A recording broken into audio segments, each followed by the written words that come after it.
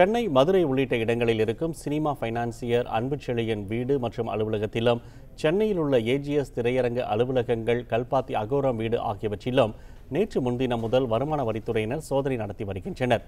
இதேபோல் மதுரையில் உள்ள அன்புச்செழியன் நண்பரும் நகைக்கடை அதிபருமான சரவணனின் வீட்டிலும் வருமான வரித்துறையினர் நேற்றும் நேற்று முன்தினமும் திடீர் சோதனை நடத்தினர். இந்த சோதனையின் போது கணக்கில் வராத எழுபத்தி ஏழு கோடி ரூபாய் மறைவிடங்களில் பதுக்கி வைக்கப்பட்டிருந்ததை கண்டுபிடித்து வருமான வரித்துறையினர் பறிமுதல் செய்தனர். மேலும் முன்னூறு கோடி ரூபாய்க்கும் அதிகமாக வரி ஏய்ப்பு செய்யப்பட்டிருப்பது கண்டுபிடிக்கப்பட்டதாகவும் மத்திய நேரடிகள் வரிகள் வாரியம் வெளியிட்ட அறிவிப்பில் தெரிவிக்கப்பட்டிருந்தது.